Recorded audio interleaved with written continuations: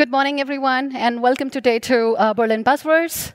So my name is Atita Arora, and I work with Open Source Connections. Uh, so today we're going to be talking about understanding Vespa with the Lucene mindset. So the talk is going to be centered around understanding Vespa. I know it's kind of a little uh, repetitive after two sessions from uh, Vespa folks yesterday, but with me. And uh, I am uh, kind of on a little time crunch because I have 20 minutes session. So which is why I would be sticking to uh, this agenda for today, where I would be introducing myself, my company, Vespa, uh, we would try to understand Vespa in a little better way. We would be covering uh, some distinctions. How do you get started if you want to?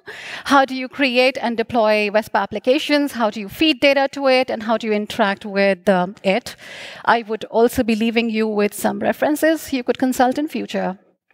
So without further ado, let's get started. Yeah, in good times, I look good. Um, I work in um, search domain, and I've been working here since uh, 2008. I mean, the search domain. I am open source enthusiastic, and I have worked on several open source projects, contributed to them. I'm uh, primarily interested in uh, the search relevance and uh, language analysis. That really kicks me. I'm uh, also a polyglot uh, developer, and uh, I've done my master's in computer applications and um, just to kick things a little bit more, I did my master's in strategic business management as well. Personally, I'm mother of two boys, and I love to travel and I love to cook. So that's about my company, Open Source Connections. As the name suggests itself, we are also open source enthusiasts, and we are on a mission to empower the world's search teams. And uh, we have um, lots of um, conferences, and we hold uh, relevance trainings as well.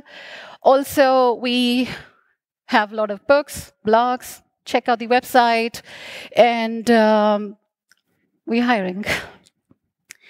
So moving on, what is Vespa? So there's going to be this little guy who's going to be helping me understanding what Vespa is. Let's hear him.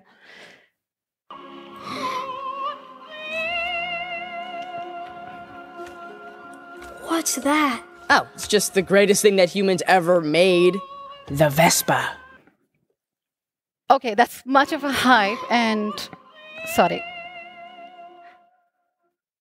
We get it. It's the greatest thing that humans ever made, for sure. But that's not the Vespa that I'm going to be talking about today. I'm going to be talking about Vespa, the search engine, and let's try to understand what Vespa, the search engine, is. So it's the platform which provides you the low latency uh, data ingestion and information retrieval it actually does the fast and the real-time writes. It supports the true partial updates. And uh, you can search on structured, unstructured data with it. Along with that, it uh, has the integration for query time, the complex operations aggregation, and real-time analytics. Uh, you can also uh, use the NLP features and uh, complex machine learning models along with it, and the support for TensorFlow, etc., is provided out of the, out of the box. Um, on top of it, it also provides you with managed and auto-recovering clusters, and I'm sure this must be very exciting. Um, I would also be trying to create a little bit of a distinction to create uh, the picture for you as to where Vespa stands. So when Solr came in, it was addressed for uh, the enterprise search market. Uh, the cool thing about it was that it could ingest and um, you could also interact with the data in various formats. It provides this uh, nice admin UI uh, console with which you could also query and also get the cluster information. Uh, when Elasticsearch came in, it was more analysis driven. It was um, more focused towards the logging, monitoring, and scaling use cases. Uh, it also provides the rich APIs for almost everything and anything um, in um, your uh, search cluster. Let's see what Vespa stands here. So Vespa actually fits into all kind of use cases. Uh, it's uh, basically uh, the, the, aggregated focus is on the large-scale data ingestion and uh, information retrieval from it. It um, I think the distinct thing about it is that uh, all the uh, complex stuff that you usually would do um, outside for the Lucene-based search engines are provided out of the box uh, by Vespa. So you can do all sort of complex information retrieval and integrate and use the machine learning models um, in Vespa by default. So that's kind of a cool thing. So I know this is also kind of repetitive. there was a session yesterday where they talked about this architecture. I'm not going to be spending a lot of time again time crunch.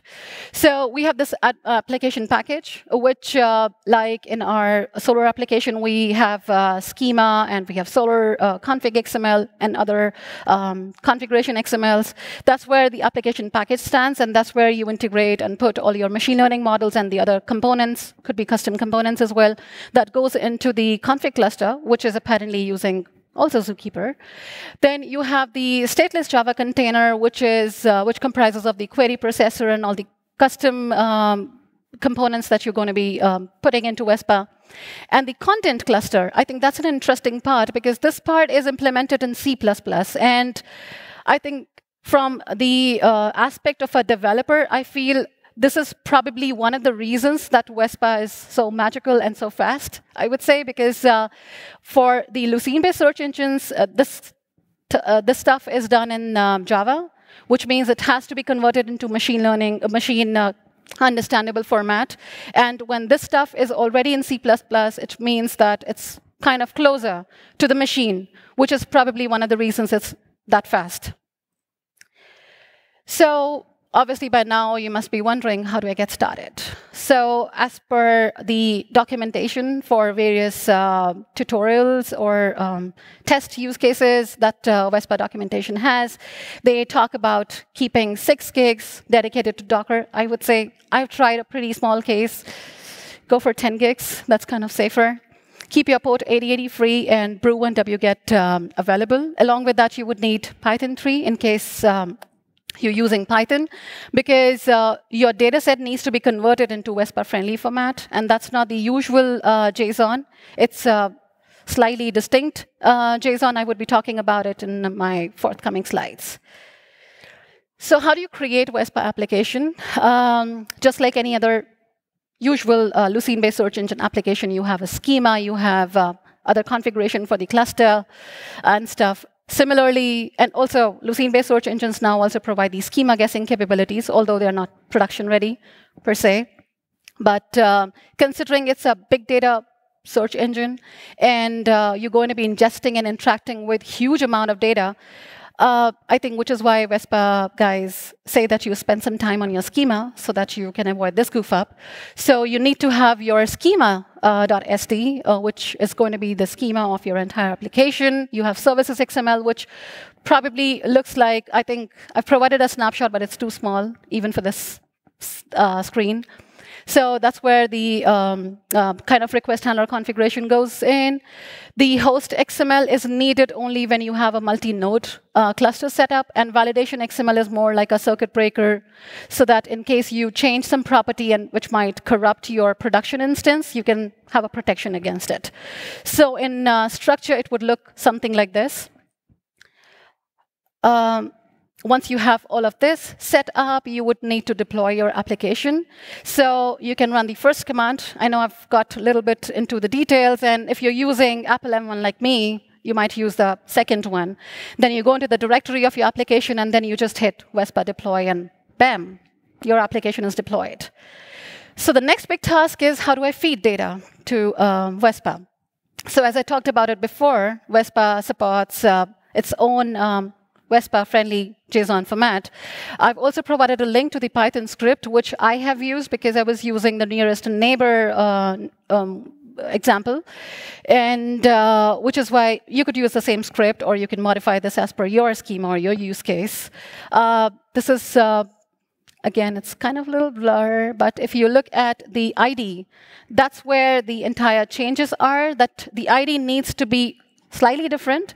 And I've try to also break it down for you that ID is like you need to define a namespace and then your schema name. And then comes the innocent ID, which works universally. So this is probably one of the parts that needs to be uh, tuned or changed. There's no native support for the dates, so it needs to be converted to long if you have any uh, data date-related operations. And I actually uh, transform them to strings just to keep it mess-free and simple for myself. Uh, the bulk data is also supported, but uh, it's supported through the Vespa feed client, uh, which, again, you can brew. Um, another uh, kind of uh, critical part is defining your ranking function. I mean, I still have to scratch my head to get this thing right. And after all of this has been done, and if you bypass all of this, you can post your single document JSON as Vespa document and the JSON uh, path. Or if you're using Vespa feed client, you can hit the Vespa feed client with the file name and the endpoint where your application is um, running. So now we have the configuration, we have the application running, and we have the data available also in uh, the Vespa. So you might as well need to modify or remove something. You can, obviously, by now you must have understood that um, ID is kind of the key component here. So you would be interacting with the documents uh, with this ID. So Vespa document, obviously, in case if you remove or modify or update, you need to use this ID. In case of removing, you just remove the ID. And in case you need to modify, you would give the, um, the new document JSON. So this thing, the, the next thing that falls into the um, picture is how do you query, how do you interact with this data. So Vespa uses uh, a distinct format, which is not too distinct actually. Uh, it's called Yahoo Query Language, which looks a lot similar to SQL, which I'm sure everyone here understands. So I would recommend you to use uh, command line. It kind of works best. But this is the query builder. I don't know why this side of the screen is like a little blurry, but okay. I was trying to show that you have a lot of tuning knobs. Don't get confused with this. Uh, this is available at uh, where the application is running, uh, slash query builder. The default, default query type is like AND, or the uh, all terms to match, like a match all in Elasticsearch. Uh, but you have uh, the provision to change it by providing type equals to all, any, weak and, uh, tokenize, web, or phrase. So moving on, I've tried to also uh, capture uh, some intents that you may have when you're querying with the data. So like in case you want to kind of query all the documents, like a normal star dot star or um, query all feature from um, the Lucene-based search engines, you can do that also with the Vespa at select star where true. If you need to uh, do the filtering, you need to provide it in a SQL format where the field contains your designated query. Uh, in case if you want to query all the fields, then in that case you do not specify the query, uh, you do not specify the field, but you query as uh, default. So that would query all the fields. In case if you want to uh, render a specific number of documents, you use the feature of hits. Hits is the number of documents you're going to be rendering. Uh, if you need to change the default order of your um, uh, documents or the results, then you can modify that by introducing order by clause, and you can define your, or you can specify your field on which you would like to order your results on. If you need to filter certain keywords um, in your search uh, results, like uh, I've tried to provide an example, and I also say that query Berlin, but you remove uh, the documents which have title 1987 in them. And you can also specify the custom ranking, uh, the ranking function that I spoke about in my previous slide. So that's that. Uh, one of the good things is that you could also use it for personalization. Like you capture um, user profile, and you can use this um, along with your query, and you can provide this as a user profile setting. So like the person um, or the intent is the love songs or something from 80s, you can provide that and add this into the query context. So moving on, I think by now you guys must be wondering, Vespa is about vector search. Where is vector search? How do I do vector search? So I'm not sure how many people were really here when they discussed about that. Uh, for vector search to work, you need to um, ingest uh, vector embeddings into um, your um, data set. So you can generate this uh, using the SBERT. I think that's kind of a little traditional. We have seen that yesterday. Um, I've attached also the snippet of the code, which can help you uh, generate these embeddings, and then you can push them into um, Vespa. And then you can also, in case if you want to query uh, the vector, you can use the snippet and you can uh, create the embedding of your query. And then you can, uh, so because I was using uh, CLI, um, the command line, which is why I set the export, uh, the, the query value as um, this uh, embedding that I generated from this um, code above. And then I put, instead of the input query as the normal text query, I put this as the vector query. And that's how you use uh, for the vector search. So I think all in all, it looks pretty nice, of course, but uh, I think there are still some pain points that, uh, as I said, the embedding needs to be generated explicitly for the data set and also for the querying to leverage the capabilities of any search engine. I'm not talking particularly about Vespa here. I'm talking about any Lucene-based uh, search engine as well.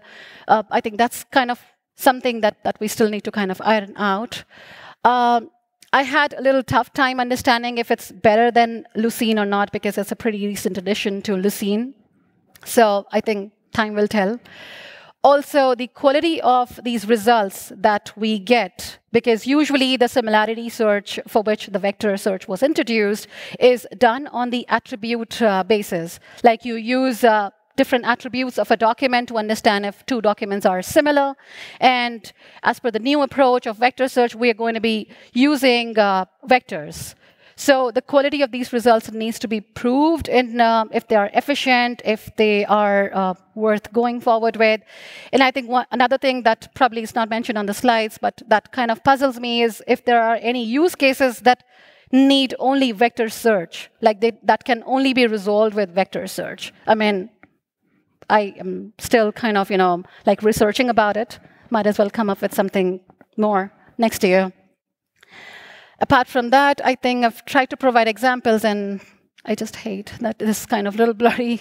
But uh, yeah, you can see that there are a lot of tuning knobs, a lot of possibilities with the query builder as well, while I've also tried to provide an example like when I've uh, used the command line um, for querying Vespa. I mean, all in all, it works pretty neatly. There are some references, as I promised, and I cannot recommend them enough on their Slack channel. They're very responsive, very nice folks. They never get bugged. but uh, yeah, and you can check out the documentation. I think documentation-wise, it needs a little bit more work, but it's cool. I think that's about it for my talk today. Thank you, and if you have any questions for me.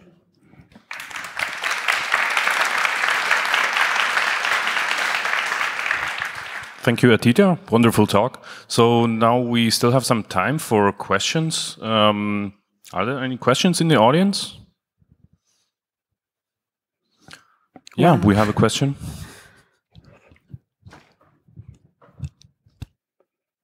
Just a second, I'm bringing the mic.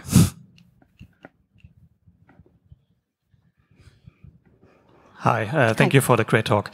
Um, on one slide, you mentioned that uh, Vespa supports partial updates yes. uh, natively. Yeah. So, are there some constraints about that, like in Lucene, when you did to meet certain yeah, uh, field configurations to support the partial updates? Uh, not really. As far as I know, partial updates are supported. Why? Because I think if you talk about partial updates from Lucene, the document is usually deleted and a new document is introduced. But Vespa uses a single uh, segment. I think that's kind of neat, and I think this probably is not covered on my slides because it's a, it's a huge topic. I think one of the other neat things about Vespa is that you do not need to configure any shards because everything is one segment. And as we know from um, our uh, very fundamental search aspects, that if it's one segment, it ought to be very fast. I think that's something that we also try to achieve with the Lucene-based search engines using merge policies and etc. So uh, the partial updates are in place, and um, that's what I was trying to uh, highlight here that they're supported. Yes. So when you need to want um, uh, want to update a, a, specific field in the document, you yeah. still need to parse the whole document, or is is it really possible to, to update one specific field? Yes, you can do one Okay, specific uh, field. that's great. Yes, yes. All right, thanks for the question. So um, the time for this talk is up, but um, of course, if you have further question, you can um, meet Atita offline and discuss about Vespa. So let's thank Atita one more time. Thank you. Great audience.